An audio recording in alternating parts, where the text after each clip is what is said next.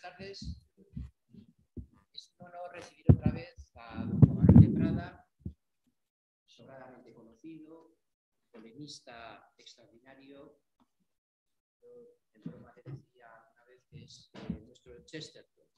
No tiene saber Narso para polemizar con él, creo yo, pero en todo caso es un gran polemista, periodista, escribe, como sabemos, en el, en el ABC y sobre todo es un grandísimo escritor, profundo, conmovedor y escribe muy bien. Tengo que agradecer, si hace dos años le agradecía que me había dado momentos que me habían conmovido realmente, hoy puedo añadir un agradecimiento más. Cuando era joven, frecuentemente tenía que acudir al diccionario para saber el significado de una palabra que había visto impresa. Eh, en el caso de Juan Manuel de Prada, a veces tengo que acudir al diccionario. La última vez fue cuando leí en uno de tus recientes artículos la palabra enviscar. Y no sabía lo que significaba. No era agradable. ¿no? El campo semántico era negativo, efectivamente lo era. Pues bien, eso me rejuvenece, me rejuveneció, así que te lo agradezco también. Hoy va a disertar, el título de su disertación es El triunfo de Don Quijote.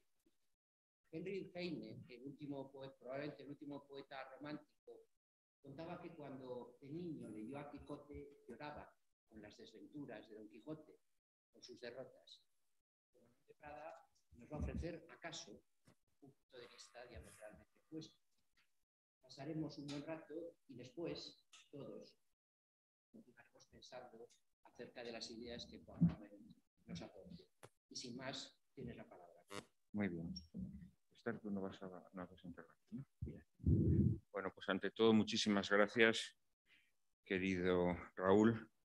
Eh, es para mí un, honor y un placer volver otra vez aquí al Centro de Estudios Superiores Cardenal Cisneros, donde efectivamente eh, ya tuve la oportunidad de ser recibido por, por, por ti, por la, por la institución que diriges, en un ciclo que dirigía un, un querido amigo y profesor de esta casa, eh, el profesor Javier Urra, un, un, hombre al que además le tengo un afecto muy especial. Hoy no está entre nosotros, pero está su esposa, de manera que es como si estuviera él, en parte, ¿no? porque siempre se dijo que la esposa era la costilla, ¿no?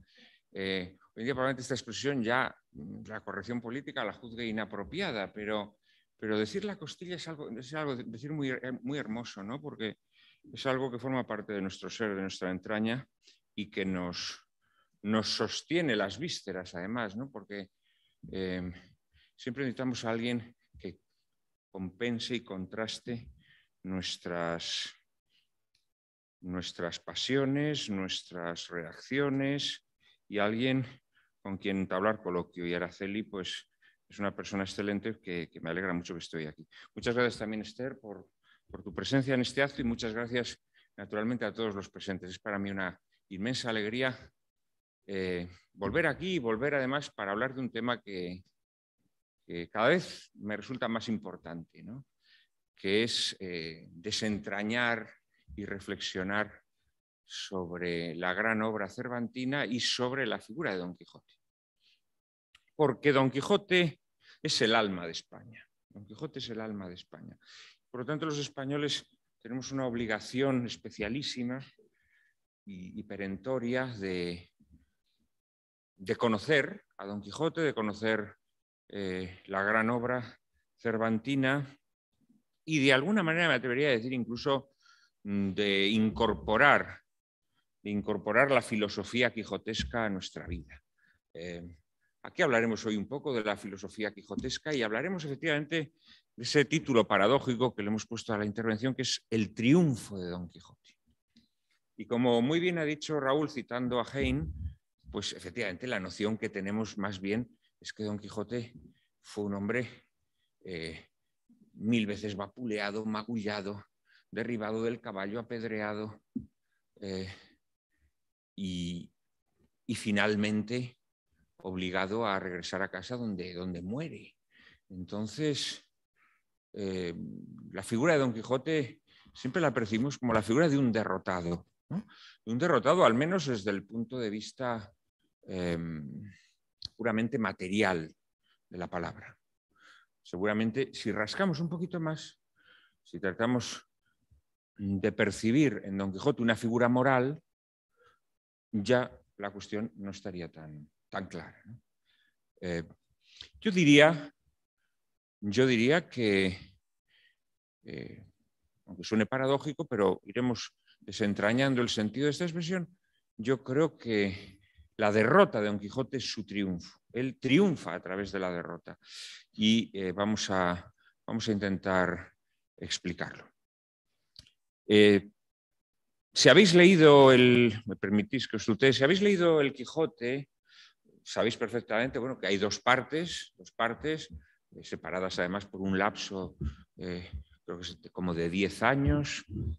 Em, siempre se ha dicho que la segunda parte es mucho mejor que la primera y ciertamente compositivamente es una obra mucho más trabada, es una obra mucho más compleja y es una obra mucho más eh, fina en eh, la, composición de los personajes, en lo que es su evolución, en lo que son las relaciones entre ellos, etcétera, etcétera. La primera parte de Don Quijote, mm, como bien recordáis, contiene dos salidas de Don Quijote. Una primera salida que él hace solo, él decide eh, ser caballero andante, salir a los caminos, sale en soledad, tiene unas pocas aventuras y finalmente un labrador de su mismo lugar, de su mismo pueblo, llamado Pedro Alonso, lo recoge maltrecho en un camino, unos mercaderes de Murcia lo han, lo han apaleado y lo, sube al caballo y lo devuelve, lo devuelve a su casa. Luego hay una segunda salida, que es la que ya hace con Sancho, y bueno, pues ahí ocurren todas las grandes aventuras que todos conocemos, la aventura de los molinos de viento, la batalla con el, con el, vizcaíno, con el escudero vizcaíno, en fin, eh, no hace falta que, hablemos aquí de todas las, las aventuras que corre Don Quijote en su primera parte. Y luego tenemos la segunda parte, en la que nuevamente Don Quijote sale con Sancho, pero en donde, como decíamos, las historias están eh, narradas de una manera distinta fundamentalmente porque Don Quijote eh, se ha convertido ya en un personaje conocido. Eh, sus aventuras han sido eh, impresas y por lo tanto Don Quijote pasa a ser alguien conocido. De hecho, muchos de los personajes con los que se va a encontrar en la segunda parte son personajes que, que han leído la primera parte de sus aventuras y que por lo tanto saben con quién se encuentran o con quién se enfrentan. Y esta organización del Quijote ya nos permite hacer una primera reflexión sobre lo que podríamos llamar el triunfo de Don Quijote.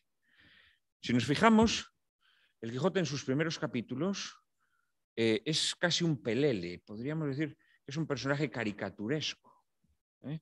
Es un personaje, mm, podríamos casi decir, arquetípico. Es un loco, loco de atar, parece un auténtico eh, orate salido de un manicomio. Eh, es curioso porque Avellaneda, en la imitación que hace el Quijote, termina con Don Quijote encerrado en el manicomio de Toledo. ¿no? Y realmente el Quijote de estos primeros capítulos es un hombre eh, que da la impresión de ser un, mentecato. Los especialistas sostienen que en un principio Cervantes no tenía pensado escribir eh, esta, una obra tan extensa que su propósito era escribir una novela ejemplar, una, novela corta, una novela a la italiana, como las novelas que en esos momentos estaban de moda, eh, que eran novelas en la tradición renacentista, eh, novelas mucho más simples. Bueno, las novelas ejemplares de Cervantes, de alguna manera, aunque es un modelo muy evolucionado sobre la novela italiana, pero tienen algo de esto que estamos hablando. Y muchos expertos sostienen que estos primeros capítulos eran eh, un esbozo de una novelita corta que Cervantes pretendía escribir. Eh, no sabemos si esto es o no cierto. Lo que sí es evidente es que Cervantes em, va a darse cuenta que en ese personaje hay un filón que él hasta ese momento no había eh, considerado. Y a partir de ahí, Cervantes mm, va a darle una profundidad al personaje y lo va además a rodear de otros personajes que también van a tener mucha injundia, fundamentalmente, por supuesto, eh, Sancho Panza, eh, pero bueno, recordemos luego cómo la historia se complica con la aparición de, toda esa retaíla de personajes que al final van a, van a componer, digamos, un mosaico casi como propio de novela bizantina, ¿no? Dorotea, eh, Cardenio, em, eh, Marcela, eh, tantos y tantos personajes llenos de vida y también personajes em, que podríamos decir que, son como villanos o personajes que tratan de destruir el, el heroísmo de Don Quijote, ¿no? Ginés de Pasamonte y tantos y tantos otros. Eh, Cervantes se da cuenta que el personaje tiene muchas más posibilidades y le da más encarnadura, ya no es ese orate que no hace sino decir insensateces, sino que se va convirtiendo en un personaje que solamente utilizando la palabra en un sentido excesivamente laxo, podríamos calificar de loco. Don Quijote, a medida que avanza esta primera parte, no es un loco. En modo alguno es un loco. Por el contrario, es un hombre extraordinariamente discreto. Recordemos cuando con los pastores pues habla sobre la edad de oro, ¿no? O recordemos cuando en la venta pues ensarta su célebre discurso de las armas y las letras. Es decir, eh, asistimos a un hombre de extraordinaria sabiduría y discreción que, sin embargo, en lo tocante a la caballería andante, pues sí, se sale de madre, ¿no? Se sale de madre y, deja a todos perplejos y da la impresión que en achaque de caballerías, como dice Cervantes, pues sí, es un hombre que está loco, pero en todo lo demás es un hombre discretísimo. ¿eh? Esto nos lo dice el propio Cervantes. A partir de aquí, incluso muchos estudiosos lanzan la hipótesis con la que yo estoy de acuerdo, que Don Quijote no está loco, sino que se finge loco. Don Quijote lo que trata es de imponer su visión del mundo, su ideal caballeresco. Don Quijote lo que trata es de convencer a los hombres del Renacimiento, que son hombres mucho más descreídos, que son hombres que han cortado, digamos, el vínculo con los ideales eh, caballerescos, pero en general podríamos decir con los ideales medievales, es decir, con, con la sustancia eh, eh, cristiana en la visión del mundo, trata de devolverlos, devolverlos a ese mundo del que ellos han renegado, a través del, de, esas tendencias paganizantes que se infiltran y descreídas que se infiltran en el Renacimiento.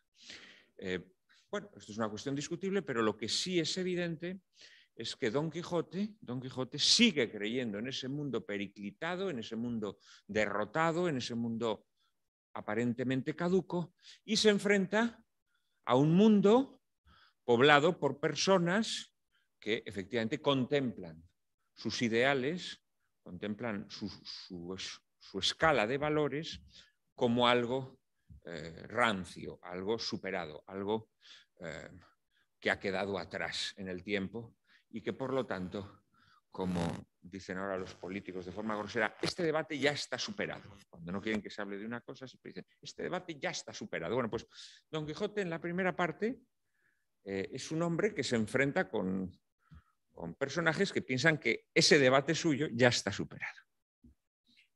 Pero en la segunda parte, y esta es la magia eh, cervantina y la hermosura del texto de Cervantes, nos vamos a encontrar con unas coordenadas distintas nos vamos a encontrar con que todos los personajes con los que se encuentra Don Quijote, y el Quijote, como sabéis, es una novela populosa, es una novela eh, atestada de personajes, esta es una de las grandes magias mm, cervantinas y una de las cosas que nos impresiona más, porque cuando leemos las novelas eh, renacentistas, en las novelas renacentistas, o bien hay pocos personajes, pues pensemos en el Lazarillo de Tormes, por ejemplo, o bien hay muchos, pero no se relacionan entre sí. Por ejemplo, el Orlando Furioso. eh, de Ariosto. ¿no? En el Orlando Furioso pues hay muchos caballeros, pero cada caballero vive sus aventuras por su cuenta, no confluyen. Lo hermoso del Quijote es que todos los personajes están interrelacionados, todos se van juntando. ¿no? Eh, en el desenlace de la primera parte de forma muy notoria, pero en la segunda parte también todos los personajes entablan relaciones y las entablan con Don Quijote y su vida depende de Don Quijote. Pero es que en esta segunda parte no es que su vida se entrelace con la de Don Quijote, es que tienen que aceptar los parámetros de Don Quijote para poder relacionarse con él. Y esto es un cambio absoluto respecto a la primera parte. En la primera parte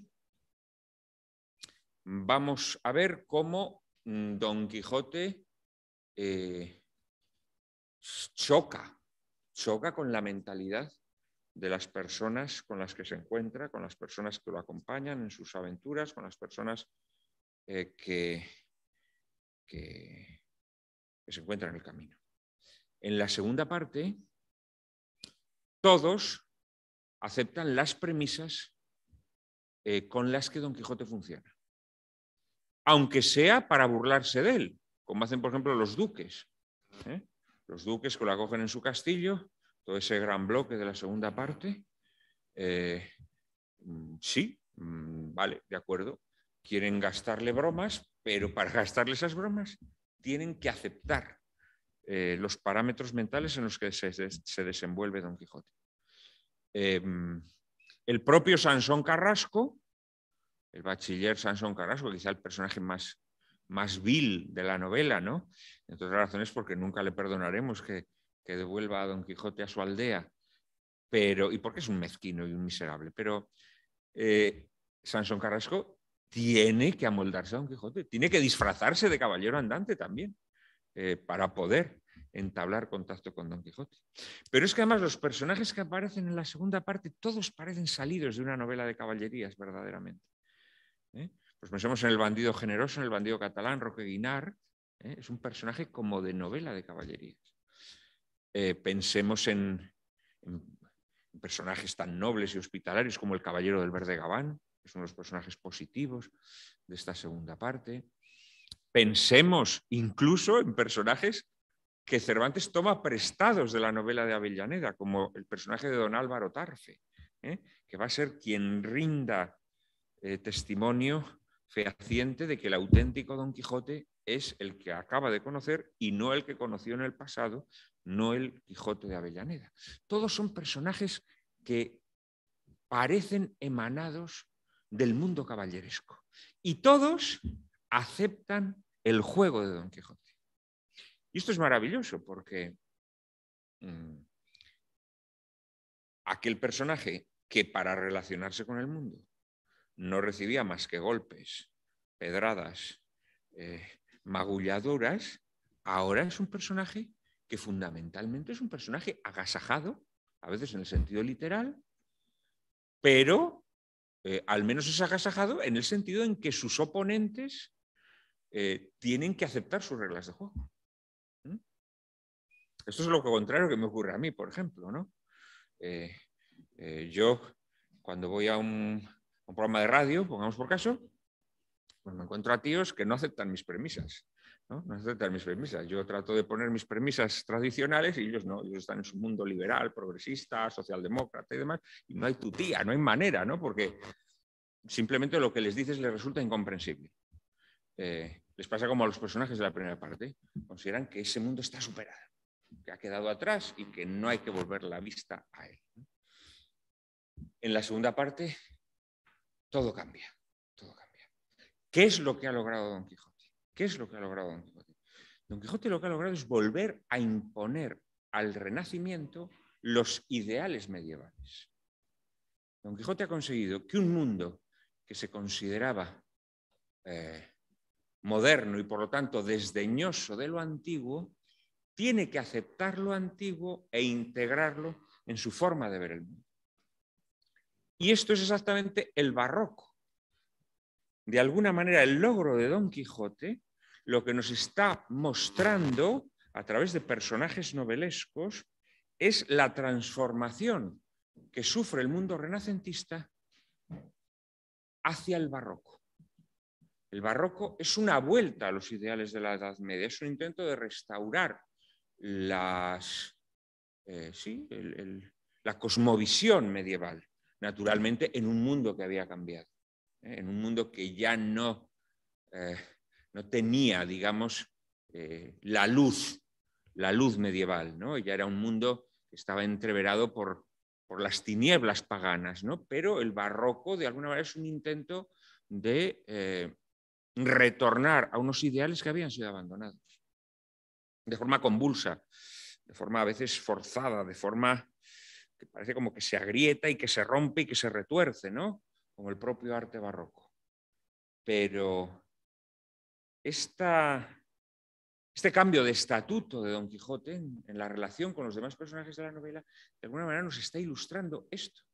Eh, y esto es el triunfo de Don Quijote. Don Quijote consigue que sus ideales vuelvan a ser entendidos en un mundo que los desdeñaba precisamente porque era incapaz de entender qué quería decir ese pobre loco.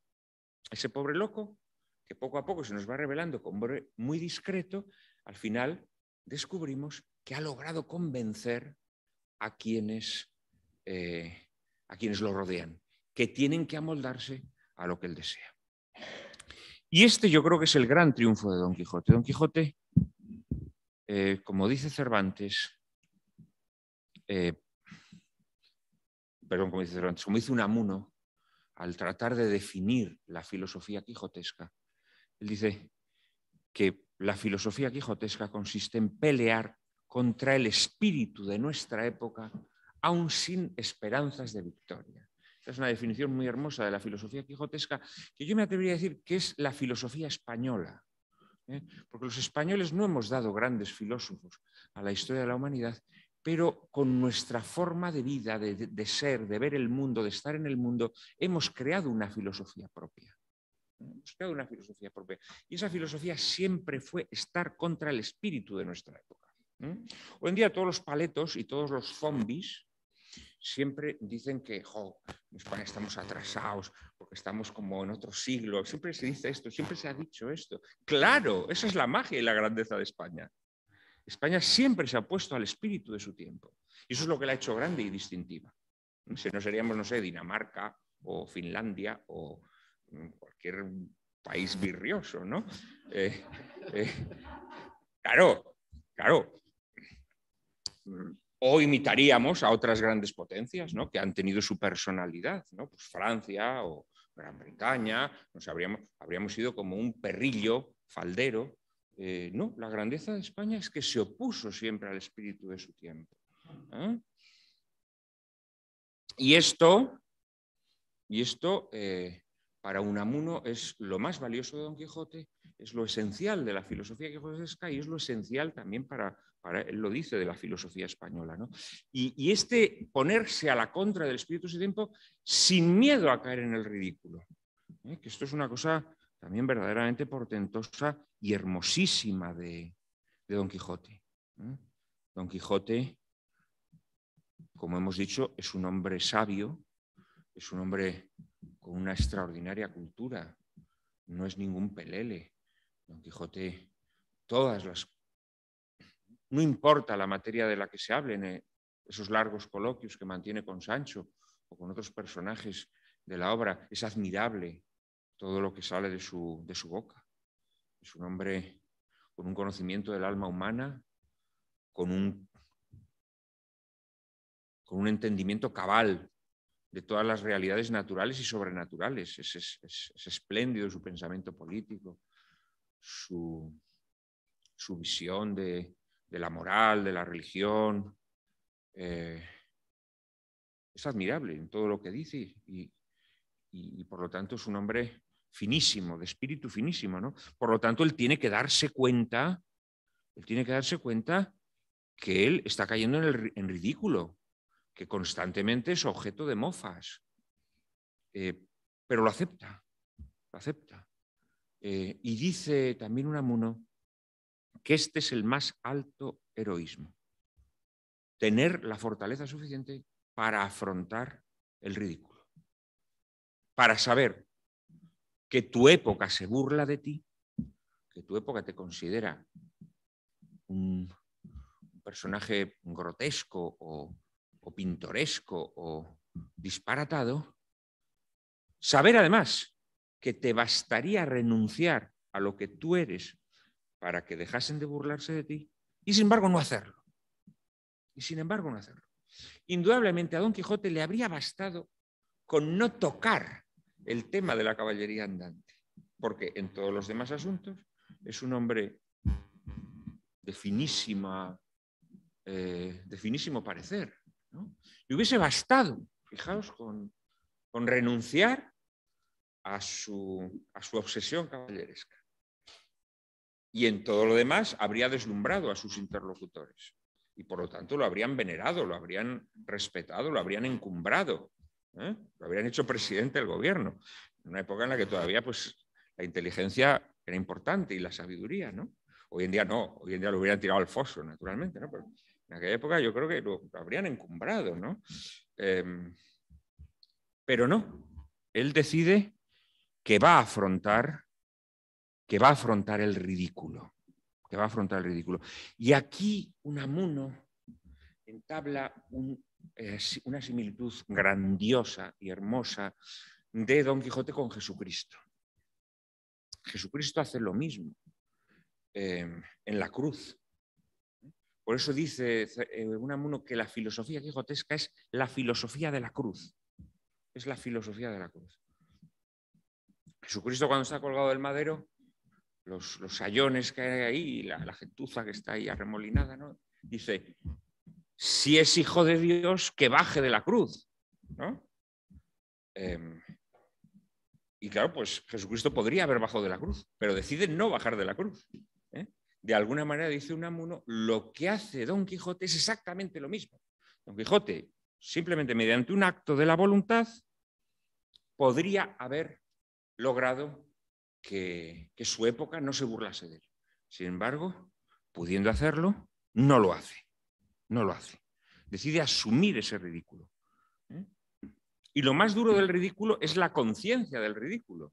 ¿eh? Porque yo estoy seguro que Don Quijote era consciente de que era, mm, de que era objeto de, mofas.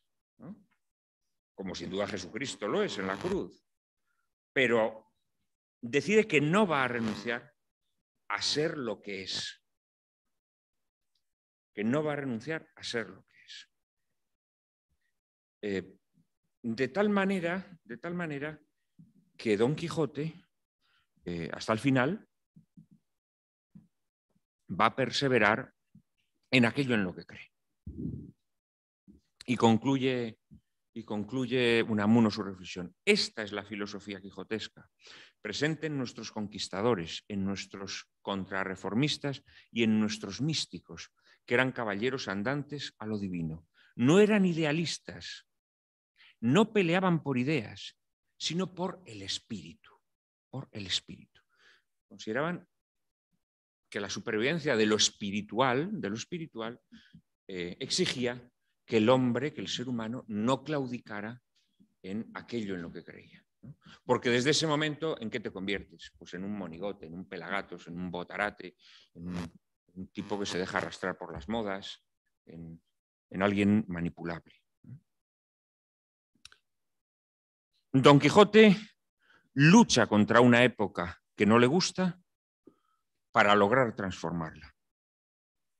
Eh,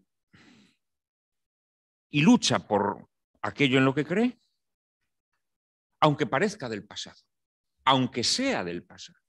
Porque realmente aquello por lo que Don Quijote eh, lucha, aquello por lo que Don Quijote eh, entrega su vida, efectivamente es algo del pasado. Es algo del pasado. Pero, al mismo tiempo que está luchando por el pasado, empuja al mundo hacia el porvenir lo que hablábamos antes de la Edad Media, el Renacimiento y el Barroco. Don Quijote, al querer traer la Edad Media al Renacimiento, lo que hace es traer el Barroco, es decir, lo que hace es empujar el mundo hacia el porvenir. Muchas veces, cuando uno defiende cosas que aparentemente se han pasado de moda, te llaman reaccionario. Te llaman reaccionario. Los únicos reaccionarios son quienes se conforman con el presente. Los reaccionarios son quienes se conforman con el presente. El, el traer el pasado a nuestro tiempo es hacer por venir, porque los pueblos que son sabios aprenden de los errores pasados y de los aciertos pasados. Los traen a su tiempo, los vivifican en su tiempo y dan lugar a algo nuevo, como es el barroco. Ese, ese traer el pasado al presente es hacer futuro, es hacer futuro. Entonces, en este sentido, Don Quijote, lejos de ser un, un reaccionario, es un visionario, es un visionario. ¿Eh? Frente a los hombres de su tiempo que habían soltado amarras respecto al mundo anterior, que habían cortado el flujo de la tradición porque consideraban que era mucho más interesante pues, volver al mundo de los, de los romanos o de los griegos, eh, Don Quijote vuelve a poner sobre el tapete el ideal caballeresco, enriquece a su época y la empuja hacia el porvenir. Y sobre todo, y sobre todo, al, hacer esto, Don Quijote, eh, con esa esperanza loca y heroica, nos transmite a nosotros, a los hombres de nuestra generación, hombres y mujeres naturalmente, o de cualquier otra generación, como españoles que somos, nos transmite esa, ese ardor y esa confianza para seguir luchando por aquellas cosas en las que queremos en medio de un mundo hostil. Unamuno también tiene una reflexión muy hermosa sobre este punto, porque muchas veces luchar eh, contra un mundo que, es hostil, pues es una tarea ingrata. Y es una tarea muy poco moderna. El hombre moderno, que decía eh, Paul el, hombre moderno se conforma con poco. Eh, se conforma con poco porque es un hombre flojo, es un hombre mm, acomodaticio. Eh, nos hemos hecho cada vez más acomodaticios y en ese sentido pues tenemos pocas ganas de luchar. También nuestra vida se ha acelerado mucho y, esperamos resultados inmediatos a, aquello que sembramos. ¿no? Y esto no deja de ser una, una quimera porque no se pueden obtener frutos tan fácilmente de forma inmediata. ¿no? Hay que perseverar, hay que perseverar. Y hay que clamar en el desierto, hay que clamar en el desierto. Em, y Unamuno precisamente habla de, que Don Quijote lo que hace a lo largo de gran parte de la obra es clamar en el desierto, hablarle a personas que no le entienden, que no sabe de qué está hablando, que todo lo que dice les parece que es quimérico, que es eh, fantasioso, que no se corresponde con el mundo sensible, con lo que aprecian los sentidos, y por lo tanto, pues el racionalismo tiende a pensar que eso que no ves, pues no existe, ¿no? Y dice, y dice dice, hay que clamar en el desierto, porque el desierto oye, aunque no oigan los hombres. Esta es una reflexión maravillosa.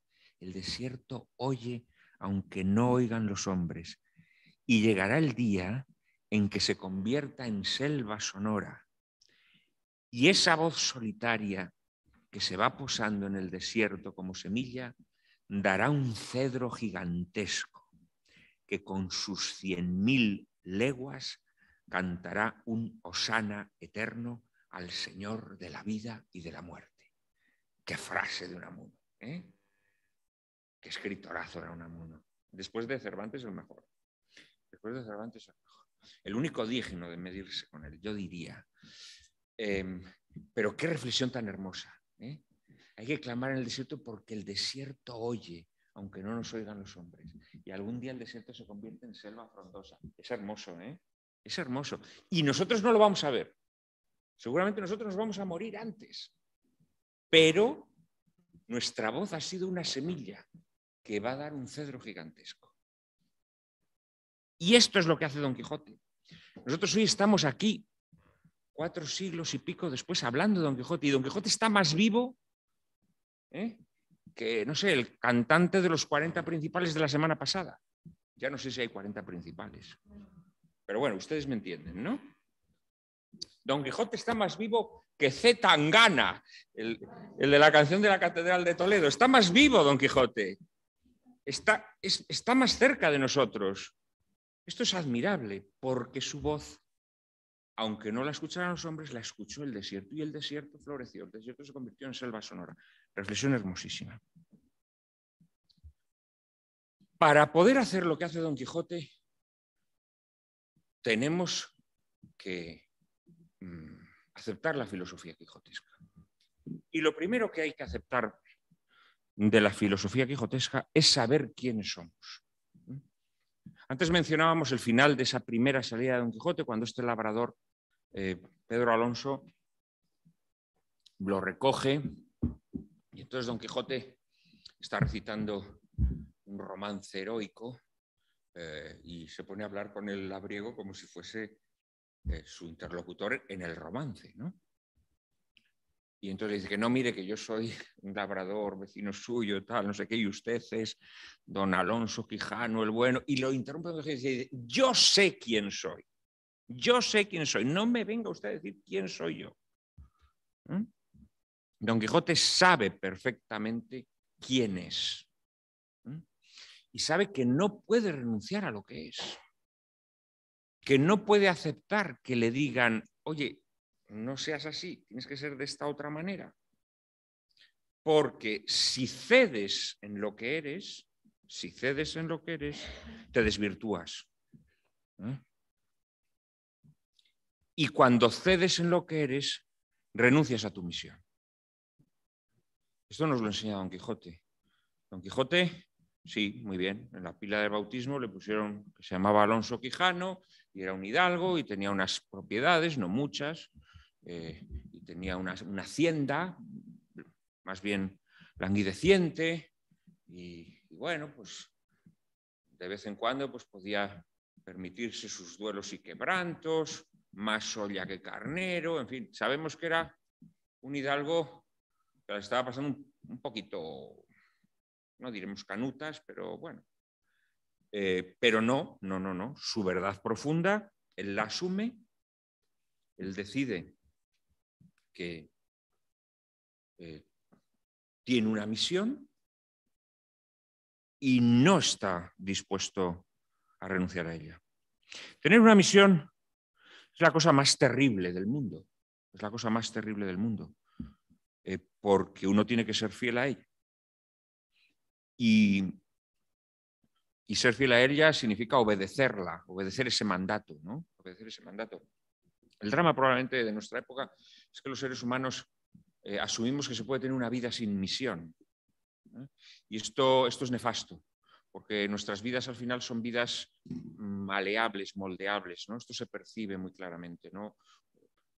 Esto que llamamos las masas, ¿no? las masas son conducidas, son conducidas, pues le dice, pues mira, ahora pues está de moda pues no sé, los pantalones de campana, ahora están de moda los pantalones de pitillo, ahora tal. Entonces la gente va cambiando, ¿no? Va cambiando, vamos cambiando, aceptando las modas. Naturalmente estoy analizando, por esto no les digo que sigan vistiendo como hace 50 años, líbreme Dios. ¿eh? Yo, yo, tengo cierta tendencia a vestir siempre igual, como si el tiempo no pasara, pero con esto no les estoy incitando a que me imiten. Pero en otras muchas cosas ¿no? de nuestra vida seguimos, seguimos pues como, como animales dóciles las consignas que nos dan. ¿no? Eh, pero lo distintivo del ser humano es exactamente lo contrario. Es tener una misión, responder a ella, entregarnos a ella, eh, porque es aquello para lo que hemos nacido. Y esto es difícil descubrirlo. Hay personas que tienen la fortuna de descubrirlo, pues, no sé, cuando son niños o adolescentes yo tuve la suerte, la inmensa suerte, nunca le podré dar gracias suficientes a Dios de que, desde que tengo uso de razón quería ser escritor. Eh, de forma totalmente irracional, porque yo no sabía en qué consistía eso de ser escritor, ¿no? Pero, pero jo, pues mm, mm, se me metió en el cabezón que quería ser escritor desde niño. ¿eh? Pero hay otras personas que encuentran su misión cuando son adultos o incluso cuando son ancianos. Eh, porque la vida es un camino espiritual que, que nos hace revelaciones eh, no, siempre, no siempre tempranas, ¿no? a veces son tardías. Pero lo importante es encontrar esa misión y una vez encontrada, ser fieles a ella. Hay un cuento muy bonito de, de Borges, ¿no? Dice, cualquier destino humano, por complejo que sea, dice más o menos, consta en realidad de un único instante, el instante en el que el hombre sabe para siempre quién es. Bueno, pues Don Quijote sabe perfectamente quién es, ha descubierto quién es y por lo tanto decide que no va a consentir que nadie le diga, no, si es que usted es esto o es lo otro. No, no, que yo, yo sé quién soy y sé para lo que Dios me ha traído al mundo. Y esto es eh, admirable, admirable. Em, y esto es lo que le permite a Don Quijote acometer todas las empresas pues con, con bravura, fiado en el triunfo, sin importarle recibir una y otra vez todo tipo de vapuleos, todo tipo de golpes, todo tipo de desengaños, eh, sin importarle la derrota. Efectivamente, Don Quijote es derrotado una y otra vez. Casi todas sus aventuras se, saldan en derrotas o a lo sumo en empates. Victorias hay muy pocas. ¿eh? Al vizcaíno lo, derrota, pongamos por caso, ¿no? Y bueno, sí, tiene algunas otras aventuras solventadas airosamente, pero casi todas terminan de, forma, eh, forma dramática, ¿no? Con descalabraduras, con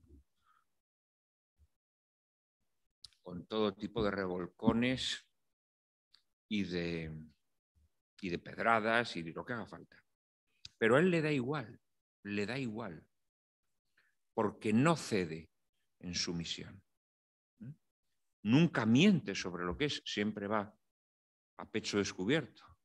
Eh, y desde luego no acepta los respetos humanos, no acepta las cesiones, las componendas, es el cáncer que nos corroe tantas veces ¿no?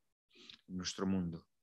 Siempre hacemos pequeñas cesiones en lo que somos, pensando que así vamos a conseguir que sobreviva algo de lo que defendemos. Craso error. Cuando cedes en aquello que tú eres, en aquello que te justifica, estás traicionándote a ti mismo. Y desde el momento en el que te traicionas, Mm, estás condenado al fracaso. Don Quijote no cede nunca en lo que es, no teme el desenlace, él siempre va a la batalla o al encuentro con el enemigo seguro de que va a vencer, aunque caiga una y otra vez derrotado. Afronta serenamente el fracaso con absoluta naturalidad.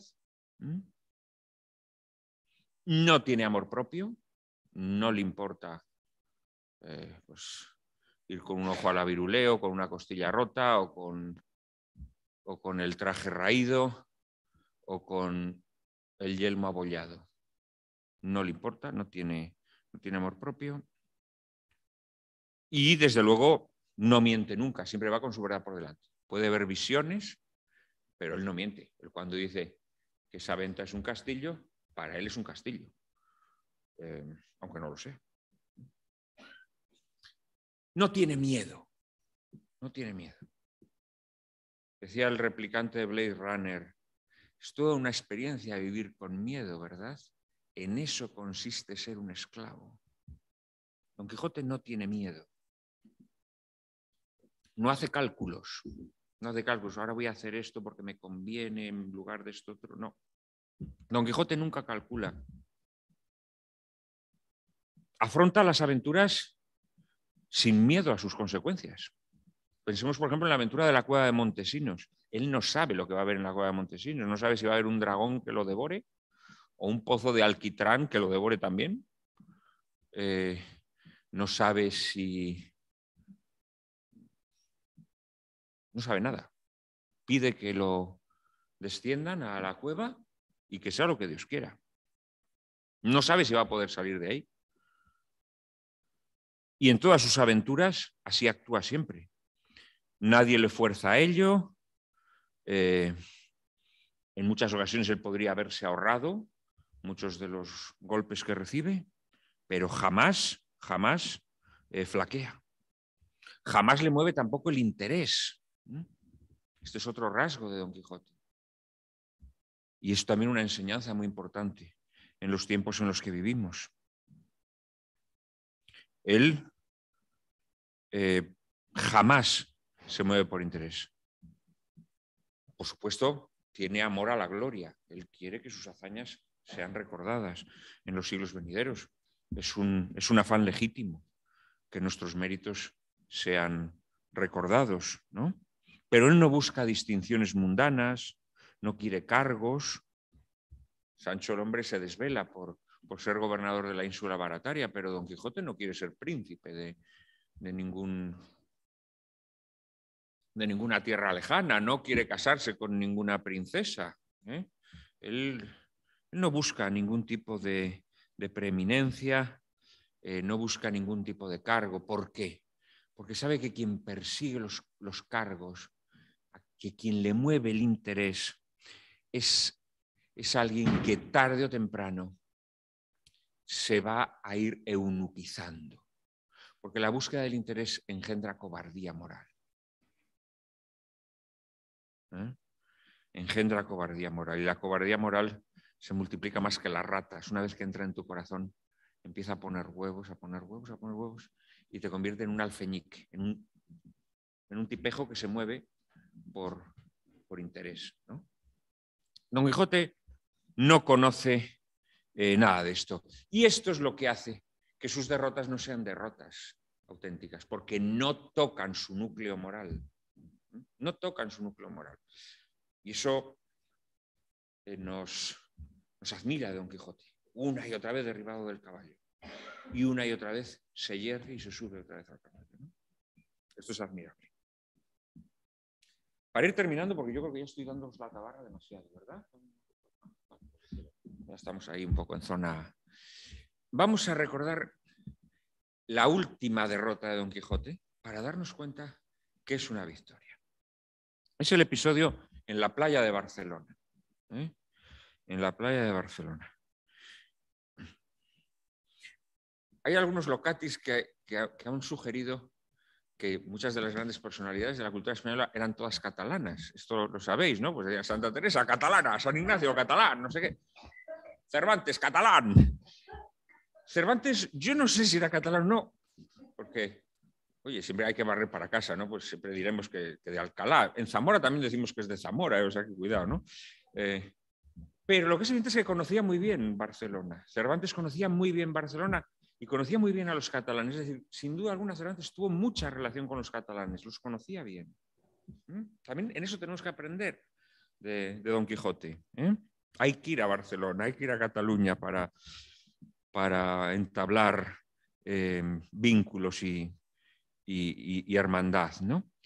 Eh, bueno, Don Quijote en la playa de Barcelona, como sabéis, se le aparece el caballero de la Blanca Luna, que es otra vez el, con perdón, el cabronazo de Sansón Carrasco. Eh, que está empeñado el tío en, en que Don Quijote deje de, deje de recorrer los caminos, ¿no? Y entonces ahí, pues, em, le lanza un reto, le lanza un reto, y es que si eh, van, a, van, a, enfrentarse en duelo, eh, en justa, y si Don Quijote pierde, si Don Quijote cae derribado, tendrá, fíjense qué miserable, qué miserable, le pide que vuelva a su aldea en castigo por, la derrota, pero también que reconozca que Dulcinea del Toboso no es la mujer más hermosa del mundo, sino que es la dama de los pensamientos del caballero de la Blanca creo que se llamaba Casildea de Vandalia, pero a lo mejor me equivoco, porque estoy hablando todo de memoria. Es, miserable, ¿no? Porque no le está simplemente mm, proponiendo un, duelo en el que el perdedor va a recibir un castigo, sino que le pide que abjure, que abjure de la dama de sus pensamientos, que abjure del fuego de su corazón, ¿no? de la llama que, para Don Quijote el ideal de Dulcinea, y Don Quijote sabe que Dulcinea no existe. ¿eh? Hay un diálogo con Sancho en el que él dice que ya sabe que, que Dulcinea no existe. Esto también es muy interesante. Don Quijote sabe que Dulcinea no existe. Sabe que es algo que él ha, eh, que él ha creado y que, llena su corazón. Bueno, pues este le, el, el, Carrasco le pide que, que, reniegue de Dulcinea. Y efectivamente, pues se enfrentan Rocinante, eh, pues con ese trotecillo cochiquero que tiene a lo largo de toda la novela, pues nada, no embiste con fuerza, en fin, un desastre, se al suelo. Y, y entonces Sansón Carrasco le pone la lanza a Don Quijote en, la garganta y le dice que, que reconozca que Dulcinea no es la mujer más hermosa de la tierra. ¿Y qué responde Don Quijote? Es un, es un momento muy emocionante, muy emocionante. Yo todavía me emociono cuando dice Don Quijote, dice Cervantes, que Don Quijote responde como si hablara dentro de una tumba, con voz debilitada y enferma. Es decir, Don Quijote sabe que ha sido derrotado. Él ha aceptado las condiciones que le ha puesto el caballero de la Blanca Luna y por lo tanto sabe que ahora sí, ahora esta derrota ya sí es de verdad. Le va a tocar volver a su aldea, porque es hombre de honor. Eh, sin embargo, la otra parte no, no la acepta. ¿Y qué es lo que dice? Dice, Dulcinea del Toboso es la más hermosa mujer del mundo y yo el más desdichado caballero de la tierra. Y no es bien que mi flaqueza defraude esta verdad. Así que aprieta, caballero, la lanza y quítame la vida pues me has quitado la honra. Infringe, no está dispuesto a aceptar eh, la condición que le ha puesto y por lo tanto le pide que lo mate, que lo mate, que no está dispuesto a renegar de Dulcinea. ¿Mm? Y esto es muy hermoso, porque démonos cuenta que Don Quijote se había entregado a Dulcinea sin pedir nada a cambio. Don Quijote nunca pide nada a cambio. Don Quijote no nombra a Dulcinea la dama de sus pensamientos para poder acostarse con ella, ni para poder cartearse con ella, ni para poder mantener coloquio con ella, ni para nada de nada. Él se entrega a Dulcinea sin pedir nada a cambio. Y en buena lógica, claro, don Quijote dice, vamos a ver, ¿por qué ahora va a depender la belleza, la grandeza de Dulcinea de la flaqueza de mi brazo? ¿Qué tiene que ver que yo no haya sido capaz de vencer a este caballero para que yo ahora tenga que decir que Dulcinea no es la más hermosa dama del orbe? ¿Mm? Claro, no es como estos vendidos, ¿no? Que una vez que se ven derrotados, pues niegan y denigran la causa que han defendido, la abandonan. ¿eh? Tenemos tantos ejemplos en nuestra vida, ¿no? Todos estos politiquillos, ¿no? Que cuando los defenestran, pues ya empiezan a, a renegar de quien los encumbró. No, no. Don Quijote no reniega de la causa que lo convirtió en un héroe, la causa que lo transformó, la causa sumisión. No reniega de su misión. Vale, me obligas a volver a casa, pero no te voy a reconocer que Dulcinea no es la mujer más hermosa del mundo. Porque sabe que no es la flaqueza o la fortaleza de su brazo la que la mantiene viva, sino que es el amor, la lealtad, ¿eh? el haber hecho de Dulcinea la dama de sus pensamientos. Don Quijote no renunció a Dulcinea, no renunció a, no, no, no, no renegó de Dulcinea cuando la vio convertida en una zafia labradora. Recordemos el episodio, ¿no? El bellaco de Sancho tiene que inventarse a una Dulcinea y entonces pues le presenta una fea labradora eh, Y Don Quijote piensa que está encantada. Toda la segunda parte va a tener mucho que ver con el encantamiento de Dulcinea. En ese momento no renegó Dulcinea y, hombre, al verla oliendo a ajos, ¿no? Y, y subiéndose al burro de un brinco y todo esto, como una zafia labradora, pues podría haber renegado de ella. No, no lo hizo. No lo hizo. Y mucho menos lo va a hacer en ese momento. Y la enseñanza es maravillosa. No importa que peleando por la verdad en la que creemos seamos derrotados. Porque esa verdad no ha sido vencida, esa verdad sigue siendo la misma. Nuestra derrota, naturalmente, pues es dolorosa, pero al derrotarnos a nosotros, derrotan algo caduco, derrotan esa voz eh, que clama en el desierto y que en un determinado momento bien, se extingue, pero el desierto ahí queda y se transforma en selva frondosa. ¿eh? Pueden derrotar nuestro yo caduco, pero lo eterno en lo que creemos, aquello que defendemos con ardor, ¿eh? esa verdad por la que hemos luchado, permanece íntegra. No solo permanece íntegra, sino que se engrandece con nuestra derrota. Dulcinea es más hermosa en el momento en el que Don Quijote dice que no está dispuesto a renegar de ella. En ese momento Dulcinea se hace más grande, se hace más real, se hace más, más hermosa que nunca. ¿Mm? La verdad se engrandece con la derrota de Don Quijote. Y este es, el, me atrevería a decir, su gran triunfo. ¿eh? Este es su gran triunfo. Don Quijote deja eh, de ser caballero andante, acepta el castigo de volver a la aldea, pero no permite que la verdad en la que cree eh, sea negada. Y esta es también quizá la, la gran enseñanza última que nos da Don Quijote, ¿no? Eh, tenemos dos opciones en la vida. Tenemos dos opciones en la vida. Dejamos que aquellas cosas en las que creemos eh, sean humilladas, sean ofendidas, sean degradadas, como pretendía el cabrón de Sansón Carrasco, o por el contrario, eh, hacemos a través de nuestro sacrificio, a través de nuestra renuncia, que esas verdades eh, resplandezcan mucho más.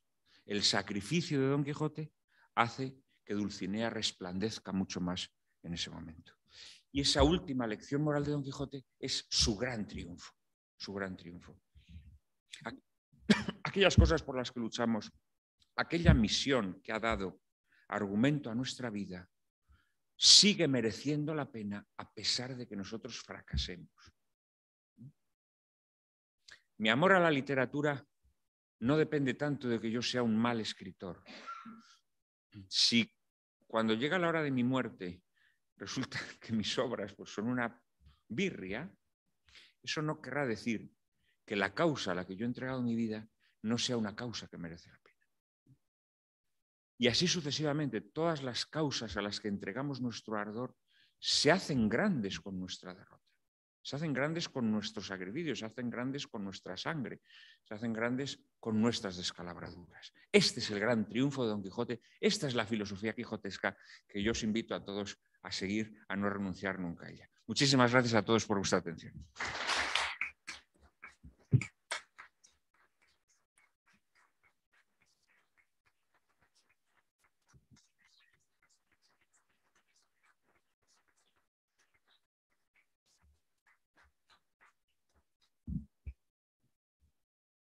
Alguno de ustedes quiere formularle alguna pregunta. Un pequeño coloquio, con mucho gusto. Yo responderé. Yo quería agradecer la lección de vida que nos ha dado el escritor don Juan Manuel de Prada, la lección moral para todos nosotros, el superarnos cada día, el esforzarnos, el querer sembrar esas semillas en el desierto para que florezcan a pesar de todas las dificultades. Muchísimas gracias por esta gran lección de vida. Muchas gracias, Esther. Muchas gracias. ¿Alguna pregunta tenemos? No necesariamente sobre esta cuestión, sobre cuestiones conexas. Ahí tenemos al fondo una y aquí adelante otra. Adelante, caballero. El micrófono, por favor. para- No, no, se me oye bien, no se preocupe. Sí, pero es que las personas que están siguiéndole por... Ah, por internet, claro. Muchas gracias por la conferencia. Enhorabuena. Quería mm, comentarle o discutirle un aspecto que creo que es contradictorio. Dígame. es el triunfador sin miedo. Es decir, el triunfo de Don Quijote eh, sin tener miedo a nada. Eh, pasarlo a la Sin vida- tener miedo a la derrota. Bueno, sin tener miedo a la derrota, sin tener miedo a, a lo que pueda suceder. Sí, lo cual no quiere decir que no haya que ser prudentes, pero per- per- Vale, termine su... No, no, no, entonces ahí voy. Eh, ¿Qué opina del miedo del matador de toros antes de que el toro salga por toriles en busca del triunfo o del portero en la raya de gol antes del penalti? Gracias. Bueno, eh, el portero en la raya de gol, la verdad, ni lo considero. Eh, pero el tema del torero... No, no, no, ha sido una broma, ha sido una broma porque yo no soy futbolero. Pero el tema del, tore- del torero me parece muy interesante porque, porque tiene muchos bemoles, ¿no? Vamos a ver, no, yo creo que el torero indudablemente vence el miedo. Es decir, el torero, claro que tiene miedo, pero lo vence. Todos tenemos miedo. Eh, y estoy seguro que Don Quijote también tiene miedo, pero Don Quijote vence el miedo. Lo que pasa que vencer el miedo no significa no ser prudente, no tener respeto a esa, a esa dificultad a la que te enfrentas. ¿no? Es decir, eh, el miedo indudablemente, a lo mejor yo me he expresado mal. Eh, cuando he dicho que afronta sin miedo, no es que él prescinda sobrehumanamente de esa triste pasión que todos tenemos, ¿no? sino que la vence, sino que la vence. Y por lo tanto se desprende del miedo para acometer la empresa eh, a, la que, a la que se lanza. ¿no? En este sentido, pues sería lo que hace el torero. Es decir, evidentemente el torero me imagino que cuando el, toro sale de los, del toril, ¿no? Pues de los chiqueros, ¿no? Creo que es la palabra. eh, pues indudablemente eh, dirá, madre mía bendita, con lo que me voy a enfrentar, ¿no?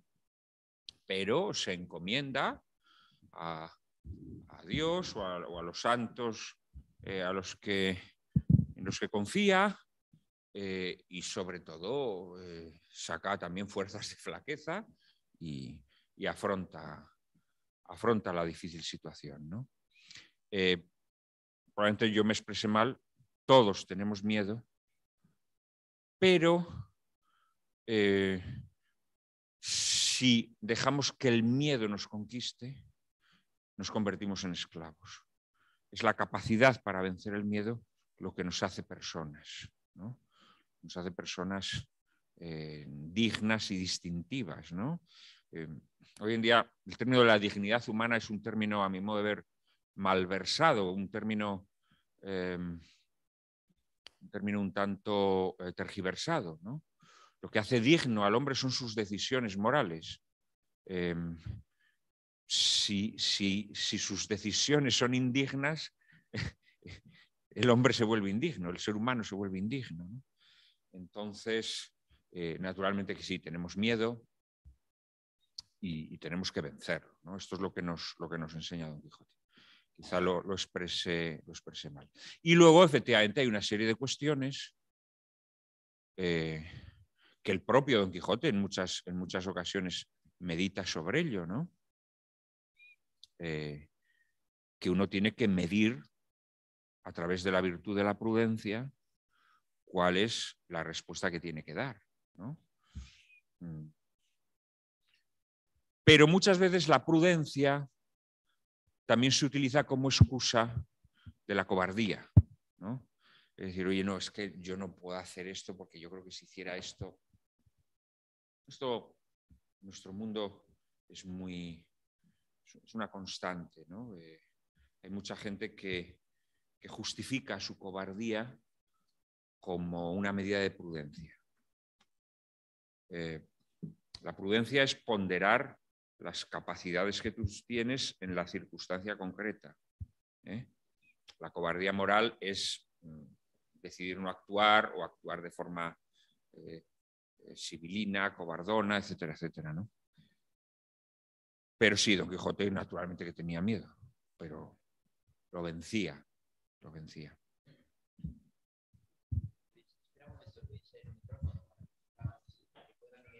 Sí, gracias. Eso es un comentario menor, eh, casi para animar a los demás a que intervengan. Eh, estando yo en Inglaterra estudiando hace ya muchísimos años, eh, tuve una conversación con un profesor de química, un hombre muy culto, el, el profesor Selú, que me preguntó un día, ¿qué pensáis y qué sentir los españoles con respecto a Don Quijote? Bueno, Don Quixote, que llaman ellos. Le dije, pues hombre, así a bote pronto, yo pienso que dos cosas. Una, pena por los sufrimientos y penalidades que pasa este pobre hombre, este pobre gran hombre, y por otro lado, admiración por su valor, valor de defender sus ideales. Y entonces me dijo, dice, pues yo cuando leí Don Quixote tuve los mismos sentimientos, pena y admiración. Bueno. Lo cual es lógico. Entonces, mi pregunta es... Es una obra universal. Claro. Toca a todos los corazones por igual. Eso es la grandeza de la obra. Es lo que me hizo pensar. Digo, hombre, los anglosajones pues tienen una sensibilidad igual o parecida a la nuestra. Entonces te quería preguntar, eh, ¿tú has tenido alguna experiencia hablando de Don Quijote, discutiendo, analizando eh, al Quijote eh, con alemanes y en fin, con extranjeros en general? Sí, sí, sí, sí, sí. No, hombre, y el hecho, vamos a ver, yo creo que Don Quijote es comprensible para cualquier mentalidad. Eh, sin embargo, mm, pienso que Don Quijote, más allá que apele a, universales eternos de- de- del ser humano, yo creo que, la figura de Don Quijote interpela muy específicamente el temperamento español.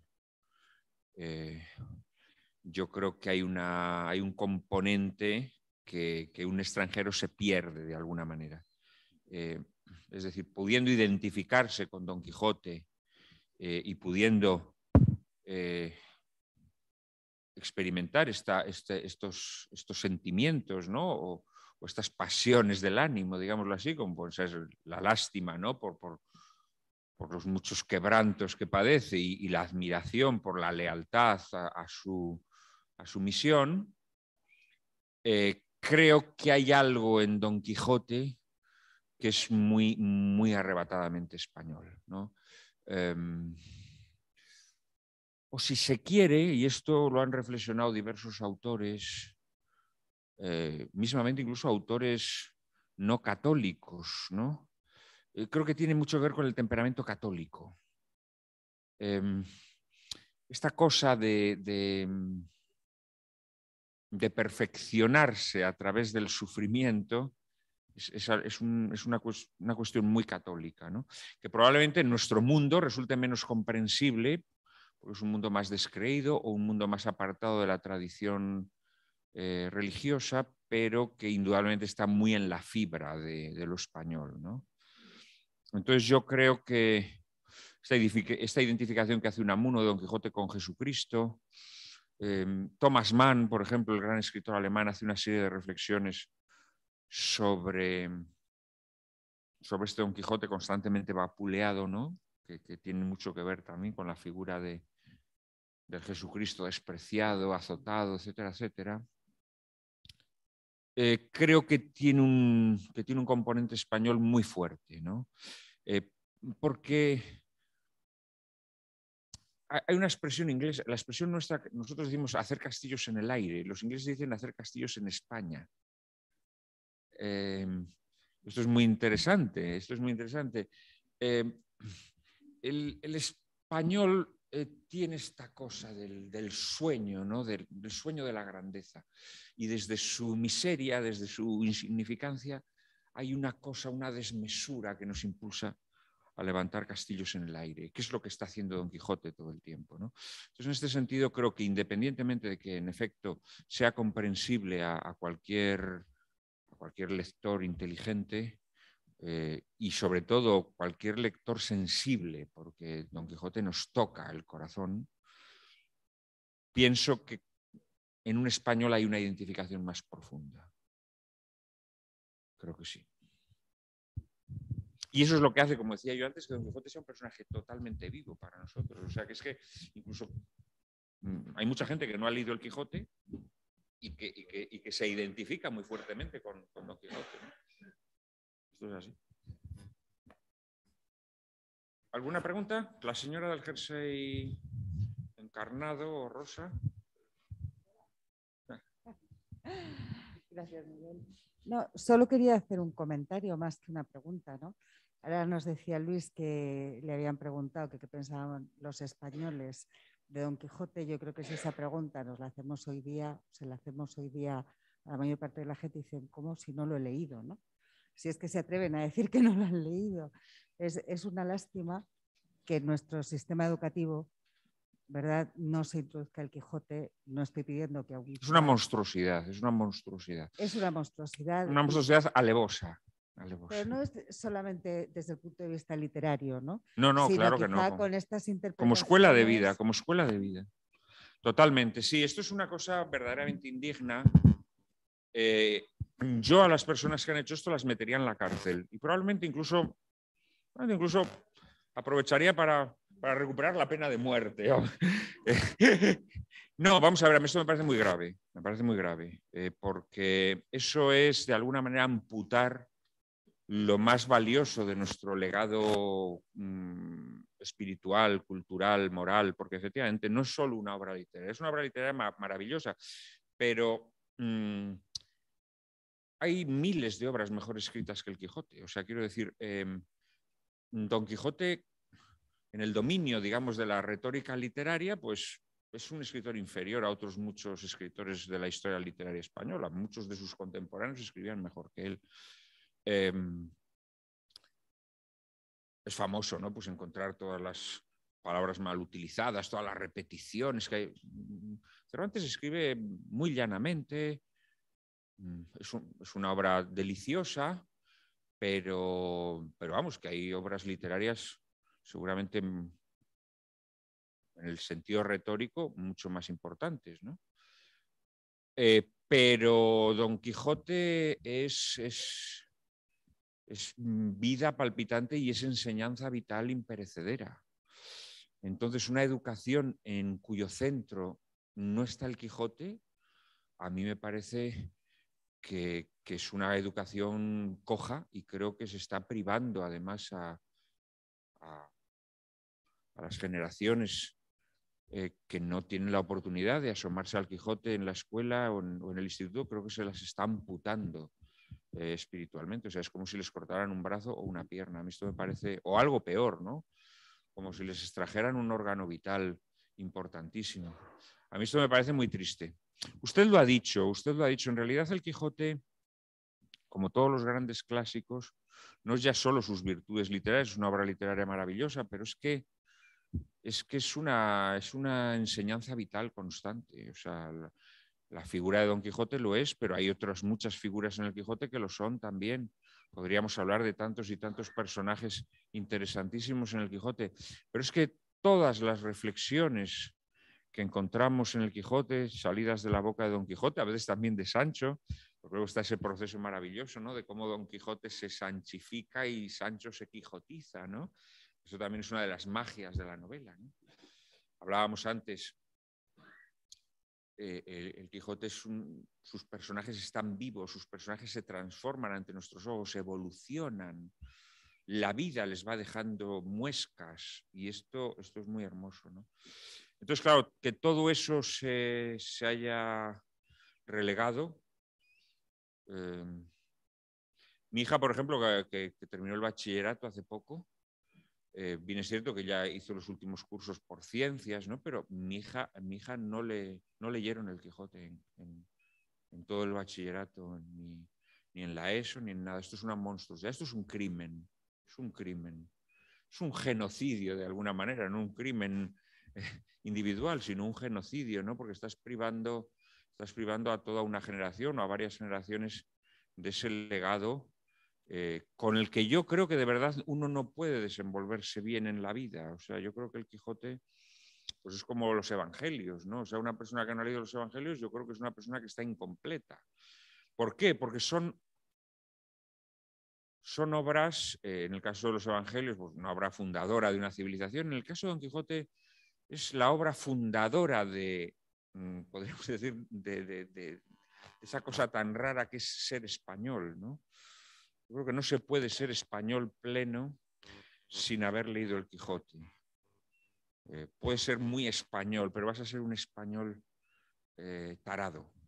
Yo creo que si no has leído el Quijote. Sí, porque el Quijote es, el humanismo cervantino. Es, muy hermoso todo, ¿no?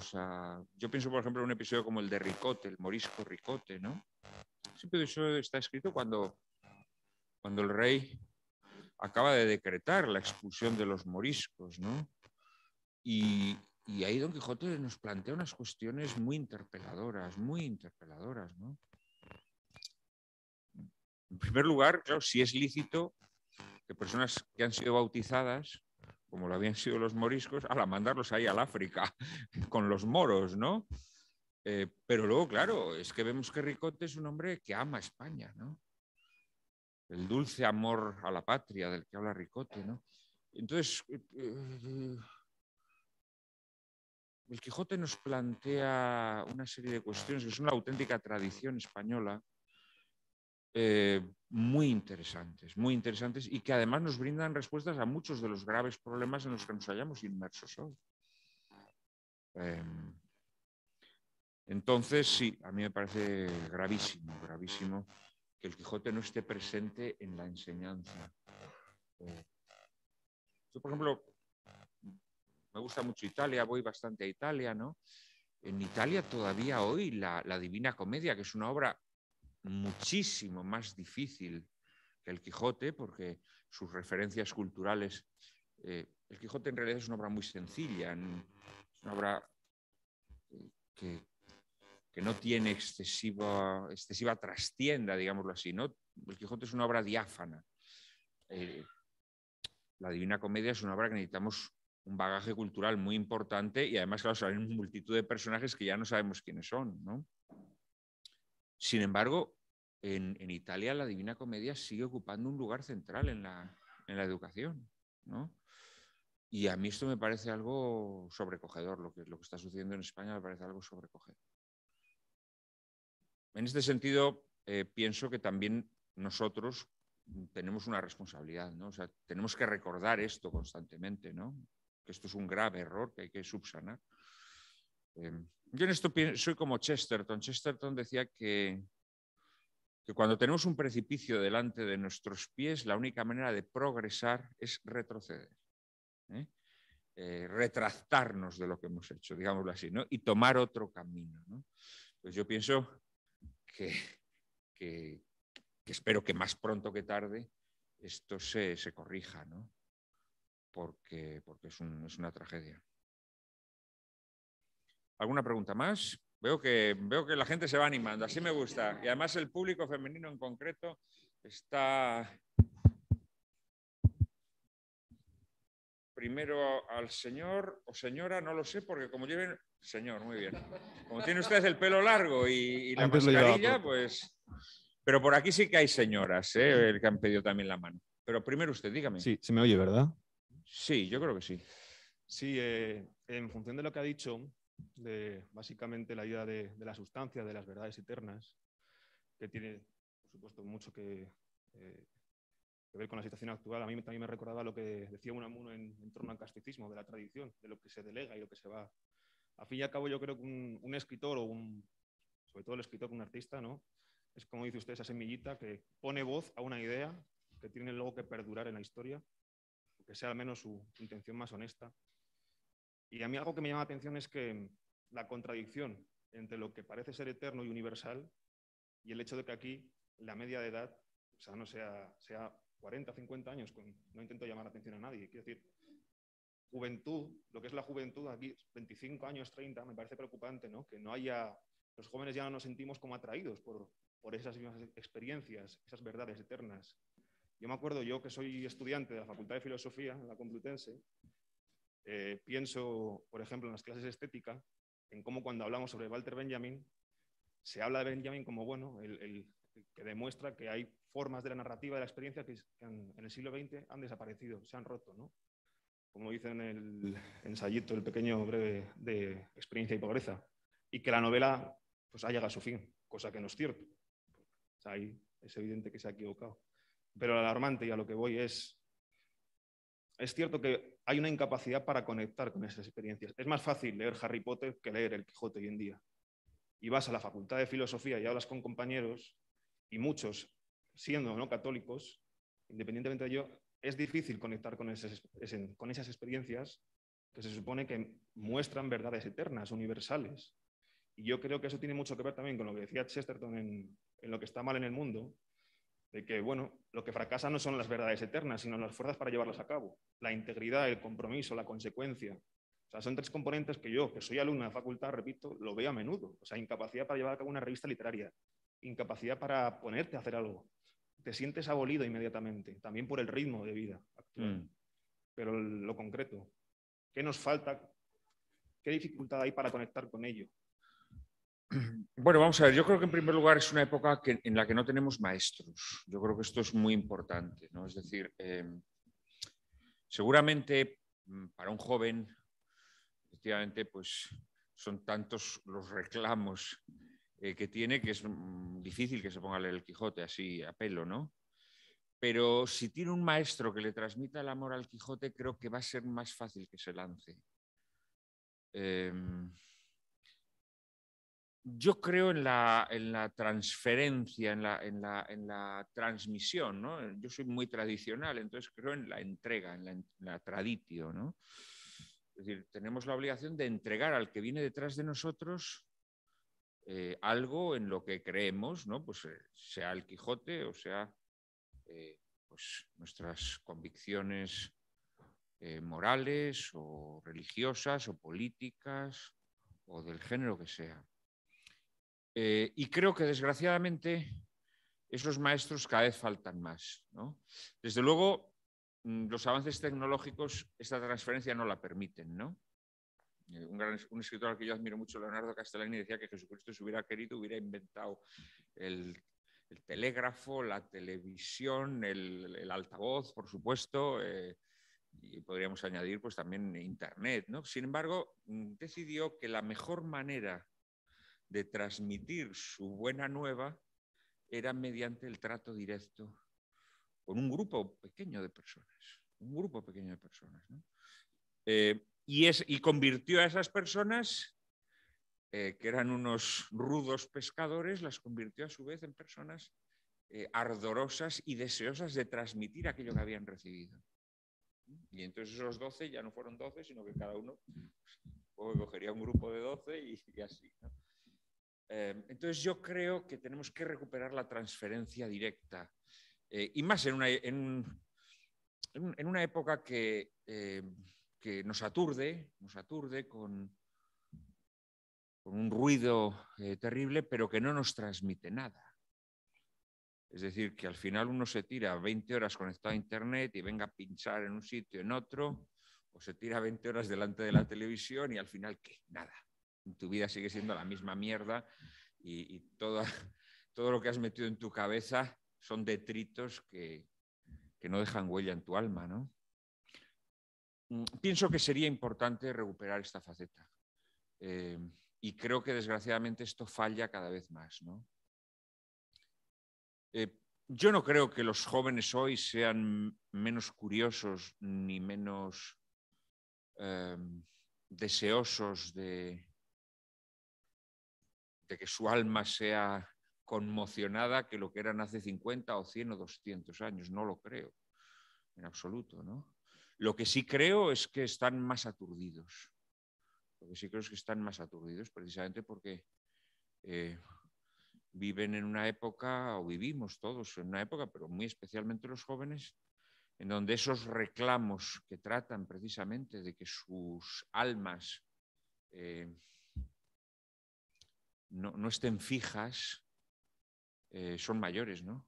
Decía San Agustín que lo propio de, del alma es la, la quietud, el estarse quieta, eh, pues precisamente para poder eh, atender a lo que verdaderamente importa. ¿no? Y quizá la vida que llevamos, tú, lo has mencionado antes, ¿no? la vida que llevamos a lo que nos invita es a un constante movimiento, ¿eh? un constante ajetreo, el no estar quietos, fijos en algo. no tener tiempo para la contemplación, para la meditación, para la reflexión, para la lectura, eh, para un amigo. O sea, preferimos tener 300 amigos en Facebook, ¿no? todos más, más falsos que una moneda de, madera, ¿no? pero mm, digamos que este frenesí, este, esta confusión, este ruido, nos aparta de lo verdaderamente importante. Pero yo creo que para recuperar eso mm, hay que volver a, hay que volver a, hay que imitar el ejemplo de Cristo, o sea, hay que volver a, al, maestro y a los discípulos, y hay que volver a la transmisión directa. Eh, yo llevo mucho tiempo en los medios de comunicación. Yo llevo ya casi 30 años de vida, de vida pública, que se dice pronto, ¿no? Y mi saldo es muy negativo. Mi saldo es muy negativo. Eh, Yo he escrito miles y miles de artículos en la prensa. Es escasísima la gente que entiende lo que quiero decir. La mayor parte de la gente no te entiende. No te entiende. ¿Por qué? Porque te lee de mala manera. Y esto ocurre cada vez más. Eh, te leen en diagonal, mm, te leen pensando en otras cosas. Y, y cada vez descreo más de la posibilidad de transmitir algo a través de los medios de comunicación. Por supuesto, la televisión la he abandonado por completo. Solo volvería si algún día pudiera volver a hacer un programa dirigido por mí, pero nunca jamás participaré en un programa de televisión, porque eso es una turbamulta. Eso está hecho para confundir y para, para ofuscar a la gente. No están hechos para que la gente pueda pensar ni, discernir. Eh, la radio cada vez me da más pereza porque se está contaminando también de, los modos de la, televisión. Y la prensa, que es lo que más me gusta, porque hombre, yo soy escritor, pero sin embargo la prensa está entrando en una deriva muy penosa por, contaminación del, frenesí tecnológico. Entonces no creo en la posibilidad de, esa transmisión. Em, estoy seguro que esta reunión que hemos tenido aquí va a ser más provechosa eh, que, que, mm, que, si yo esto lo hubiera publicado en, ABC o lo hubiera, o lo hubiera contado en, televisión. Eh, cuando, yo dirigía, cuando yo dirigía un programa de televisión que se llamaba Lágrimas en la lluvia, recibíamos muchos, muchos mensajes, muchos eh, espectadores del programa que nos escribían, ¿no? Más de la mitad de los mensajes que recibíamos eran alusivos a nuestro, a nuestro aspecto físico o indumentaria.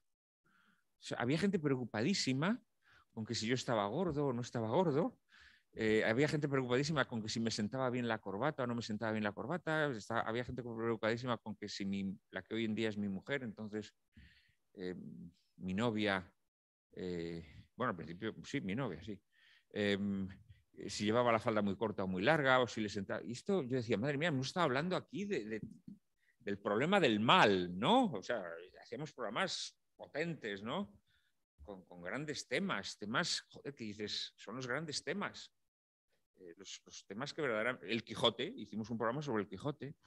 Eh, los grandes temas, las grandes cuestiones que a cualquier persona con inquietudes le tienen que, que interpelar, ¿no? Sin embargo, al final, lo que, más te decían es si la corbata te sentaba bien o mal. Y claro, yo me di cuenta que la televisión ha sido creada para entontecer a la gente, para entontecerla. Y este programa verdaderamente no queríamos entontecer a nadie, sino todo lo contrario, pero el medio predispone, el medio predispone.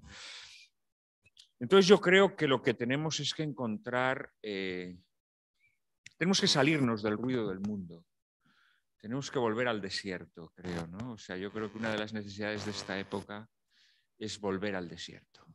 Hay que irse al desierto otra vez, hay que encender un fuego en medio del desierto y, y ver qué sucede, ¿no? Yo siempre digo que cuando enciendes un fuego en el desierto, al final descubres que hay otra mucha gente en el desierto que ve la llama y viene al fuego, ¿no?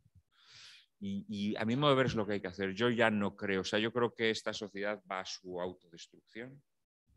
Eh, cuando digo esta sociedad me refiero a este modelo social, este ocaso civilizatorio en el que estamos. Yo creo que va a su autodestrucción. Eh, y hay que generar nuevos ámbitos, nuevos ámbitos. Y esos ámbitos creo que tienen que venir desde abajo, eh, más allá, naturalmente, que tengamos que aspirar a transformar la sociedad desde la política, eh, que esto no podemos renunciar a ello, ¿no? Pero yo, por ejemplo, en los medios de comunicación cada vez confío menos y en líneas generales confío menos en, en la posibilidad de transformación de la sociedad a través de, de los instrumentos de la tecnología. ¿eh?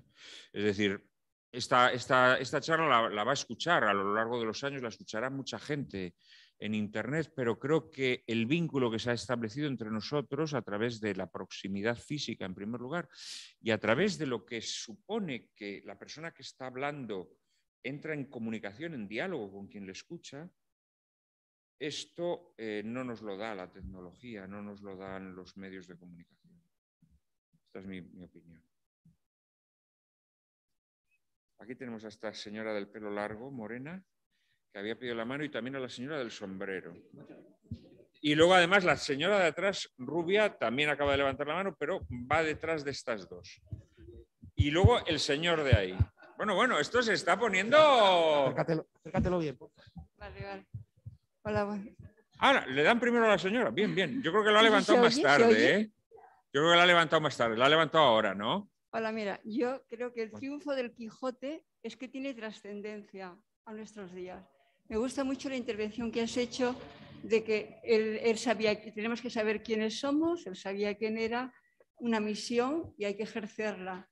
Entonces, no sé qué, por mis características personales, yo sí que he promulgado el Quijote porque he sido profesora de literatura y lo he hecho, ¿no?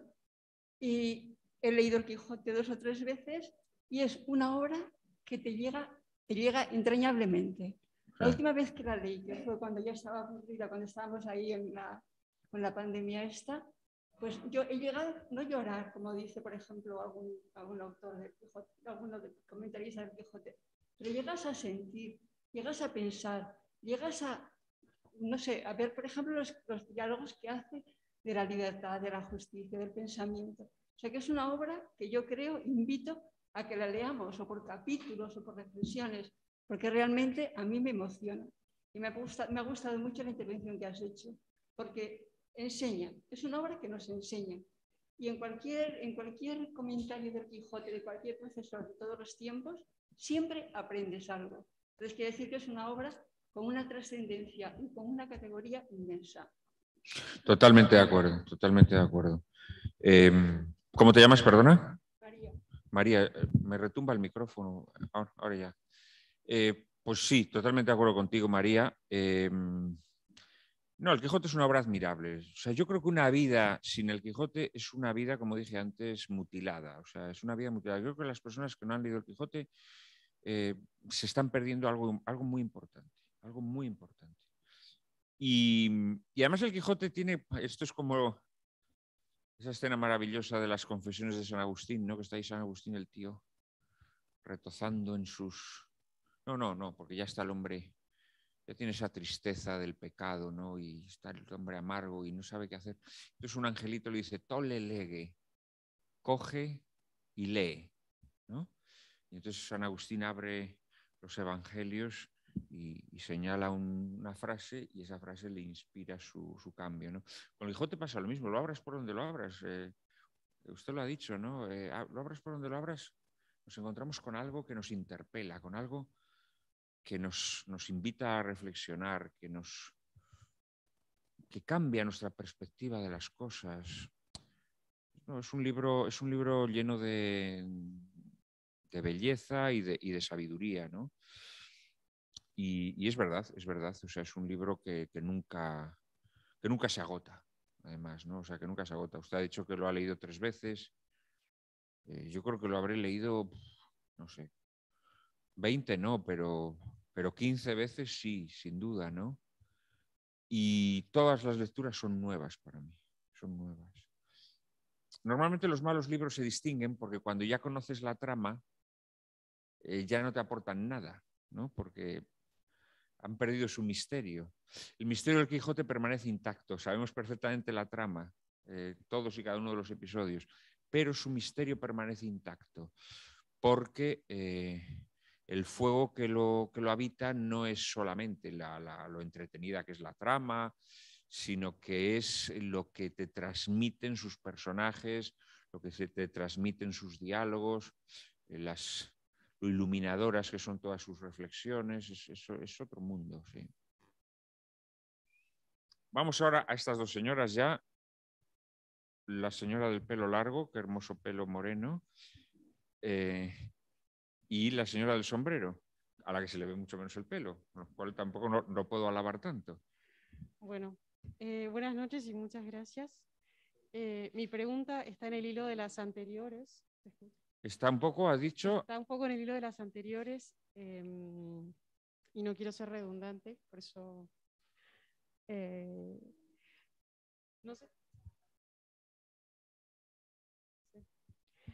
Mi pregunta es si cree que el hombre se puede volver incapaz o insensible a una obra como El Quijote o de alguna forma es inherente al hombre eh, estas inquietudes?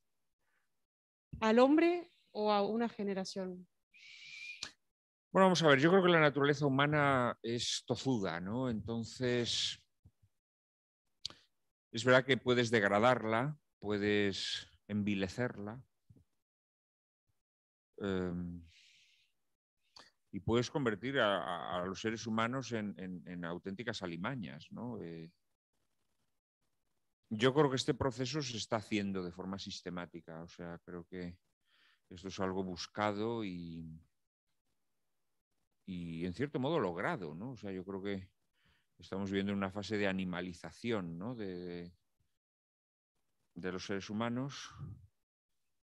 Mm, y creo además que se les está privando de, instrumentos de, conocimiento del mundo y de, y de, la propia naturaleza humana. ¿no? Entonces, en este sentido, eh, pues sí, eh, puedes llegar a construir un ser humano que no sienta la inquietud de leer el Quijote o que incluso le parezca una inquietud eh, ridícula o desfasada o, marciana, ¿no? Como se dice ahora, ¿no? Pero, bueno, del mismo modo que se dice, puedes engañar a unos pocos durante mucho tiempo o a todos una sola vez, pero no puedes engañar a todos siempre. Yo creo que esta estrategia de deshumanización, de abolición del hombre que diría, que diría C.S. Lewis, es una estrategia eh, perdedora. Es una estrategia perdedora porque por mucho que sobornes a los seres humanos, por mucho que los logres eh, envilecer, eh, no vas a poder matar sus inquietudes, porque esas inquietudes son indelebles, no se pueden borrar, forman parte de su naturaleza. Y en los seres humanos del mismo modo que hay una tentación que nos, que nos empuja hacia abajo, digámoslo así, ¿no? Eh, hay un hay un afán de ascenso también. En el ser humano hay un afán de ascenso, hay un afán de, de, sacudirte la, la, vulgaridad, la, miseria humana, ¿no? Entonces yo creo que siempre habrá eh, hombres y mujeres que aunque les hayan erradicado de su horizonte vital el Quijote, se van a, se van a acercar a él. Y donde digo Quijote, pues podría decir otras grandes obras de, del genio humano o eh, no solo literarias, vamos, eh, sino de todo tipo. Y en este sentido, pues creo que, que, no, que no lo podrán hacer, no lo lograrán. y lo, van a lo, van a seguir intentando. ¿eh? Yo creo que lo van a seguir intentando y además de forma cada vez más intensa. Yo además lo percibo que, es de forma cada vez más intensa. Mm. Yo acabo ahora de pasar por la universidad porque me voy a doctorar a mis años, a la vejez viruelas. Eh, con, con 50 años, pues me voy a, doctorar. Entonces he vuelto a la universidad. El año pasado volví y me hice el máster. El máster. Nueva patochada lo del máster. El máster en filología hispánica, ¿no? Y,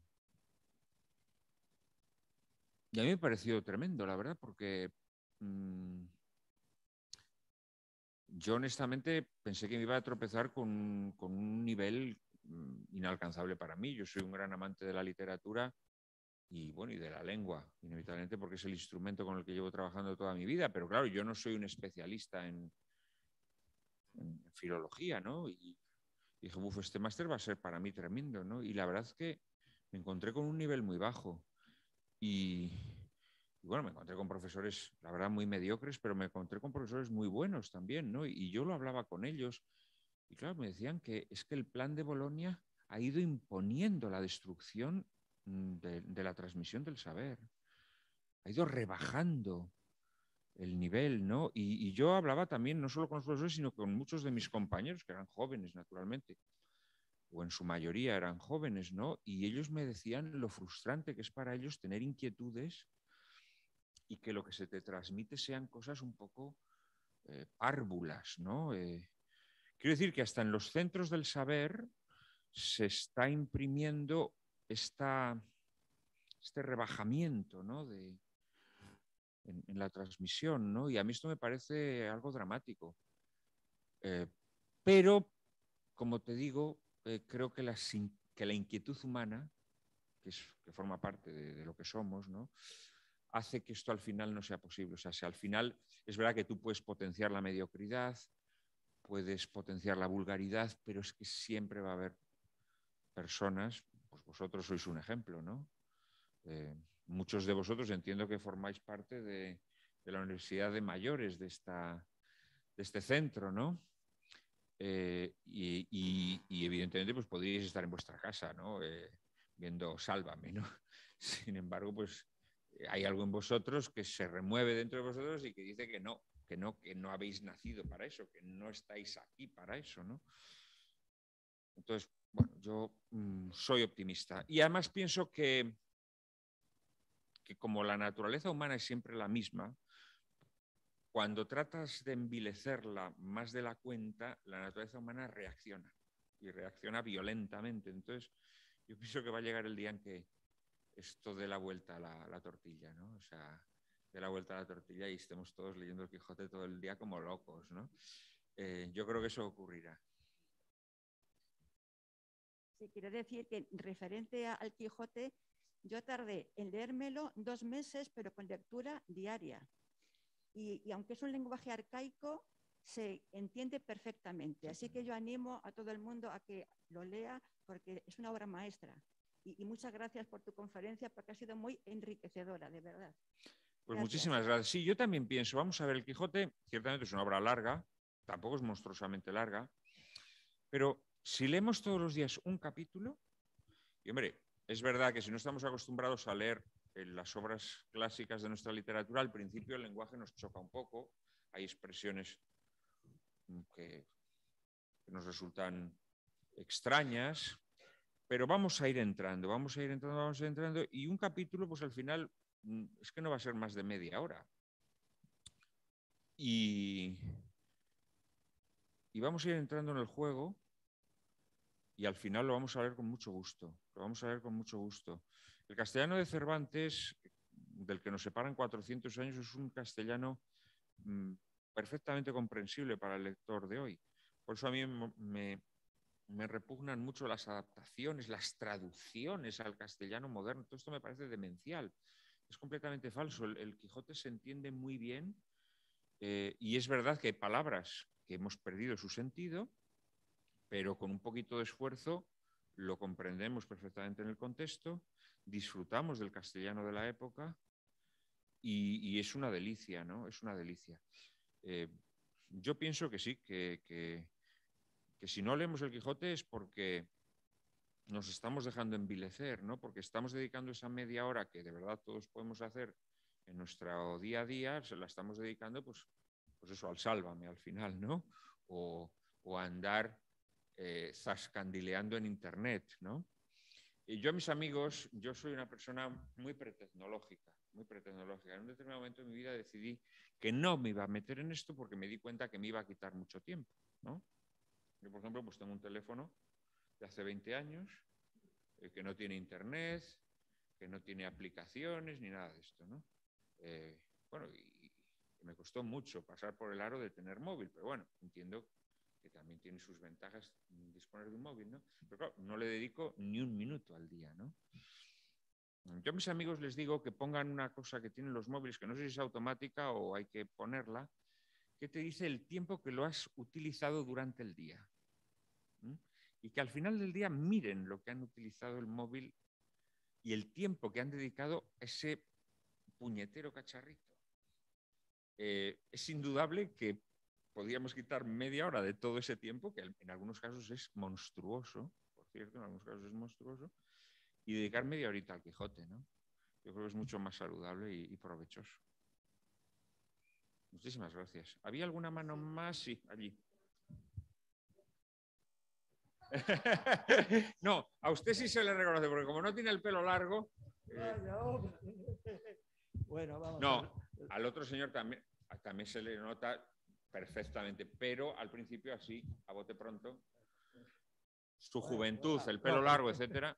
Estamos rozando el larguero ya de la hora, o sea que muy rápido, lo más rápido y demás. Una pregunta, la pregunta que voy a hacer, la contestación que tiene usted es infinita, pero en una solo le he pedido solo una pregunta, una la principal diferencia que hay entre Don Quijote y Divino y, también Dante Alighieri en la Divina Comedia. ¿Cuál es la diferencia principal de esto? Porque yo, por mucho que mirado, hay muchas. Por eso digo que es infinito. La diferencia entre Cervantes y Dante. Sí, claro. No, no, bueno, no. No. Cervantes no. Don Quijote de la Mancha y Divino. ah, o sea, entre las obras literarias. Sí, sí, sí, la historia eso digo, o sea, Buen hombre. Es infinito, ya, pero ¿cuál es la que usted encuentra más grande? O sea, la principal que encuentra usted. Bueno, vamos a ver. Yo creo que la Divina Comedia es una obra. Ambas son obras que nos hablan de la naturaleza humana, por supuesto. Lo que pasa es que yo, diría que fundamentalmente la Divina Comedia nos habla de, de tejas arriba, es decir, nos habla del destino sobrenatural del ser humano. El comportamiento de Dante y Virgilio, cómo se comporta mm, con relación a la situación y cómo se comporta eh, Don Quijote y Sancho. Don Quijote y Sancho bueno, ambas son un panorama de lo humano, efectivamente, ambas son un panorama de lo humano, pero yo creo que, que el Quijote, más allá de que el elemento sobrenatural está presente, es una obra eh, que nos habla de, nuestra andadura terrenal, sobre todo, digámoslo así, ¿no? La Divina Comedia es una obra que nos habla de nuestro destino sobrenatural, de nuestra andadura sobrenatural. Sí, pero sobre hechos que han acaecido en tierra. Bueno, eh, son dos obras eh, de ficción, podríamos decir, son dos obras de ficción basadas en el conocimiento que los autores tienen eh, de, la naturaleza humana y, del destino humano. Son dos obras llenas de sabiduría, por lo tanto, tendrían elementos comunes, pero creo que su concepción y su propósito es diverso. Es diverso. Seguramente complementario ¿eh? en muchos aspectos y en su conocimiento de la naturaleza humana en muchos casos concordante o incluso eh, mutuamente enriquecedor, pero digamos que la concepción es distinta. La concepción es distinta. ¿no? si me hago claro que es infinito. Las elecciones ya he dicho que son infinitas. Bueno, muchas gracias. ¿eh? Muchas gracias a usted. ¿Lo dejamos aquí ya? Muy bien, muchísimas gracias. Muy bien. Muchas gracias a todos ustedes.